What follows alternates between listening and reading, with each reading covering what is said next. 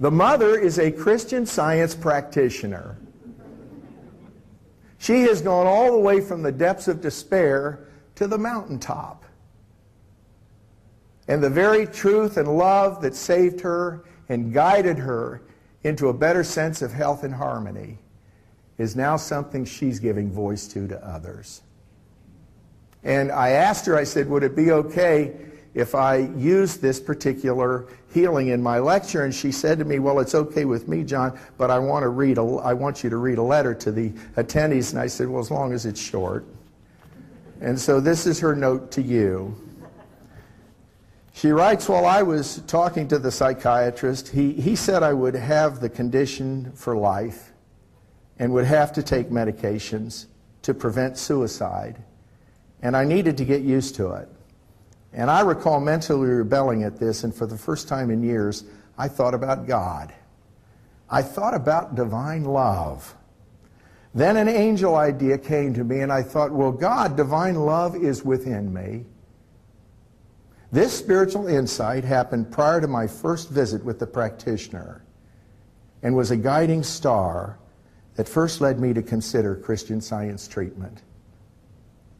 Let me state for the record I am completely healed and have been for over 20 years.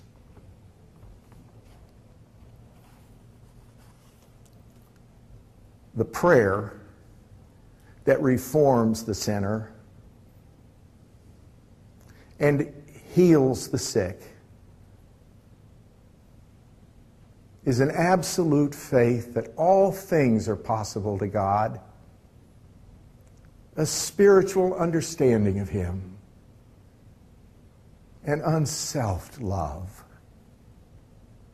That prayer healed our son Ben's foot and produced a character transformation in a matter of days. That prayer healed our son's wasp stings in one hour. That prayer produced a dramatic turnaround in my business and enabled me to produce an income to support my family. That prayer healed my friend of a bipolar condition that had plagued her for decades. To use Mary Baker Eddy's words, if such are the present fruits, what will the harvest be when this science is more generally understood? Friends, you have just heard a Christian Science lecture. Thank you.